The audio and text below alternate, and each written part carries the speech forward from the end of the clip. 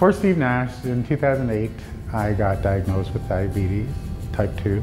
But I think I was really in denial about it because I, I just kind of ignored the diagnosis and, you know, just kept on eating junk food, watching TV, playing video games. I was over 330 pounds. I really didn't have that discipline because I've tried before. I just never followed through.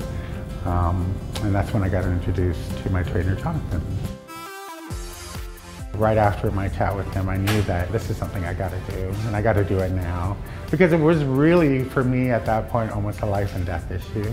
Because I, I was, my sugars were so bad, and I was getting sores on my feet, I was getting pretty sick. I was on a CPAP machine, which is a, a, ventilator that you need in order to breathe when you're sleeping because I sleep apnea or had sleep apnea. I joined the gym to turn all of that around.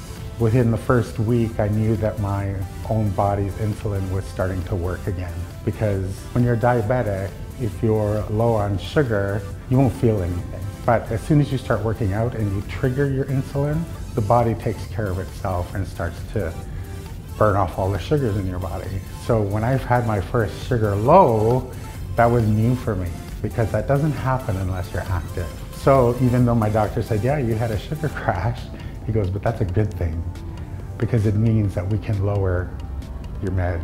It felt empowering to actually know that, you know, your body is literally an efficient machine if you take care of it. And if you take care of your body, take care of your health, it'll take care of you and I am living proof of that.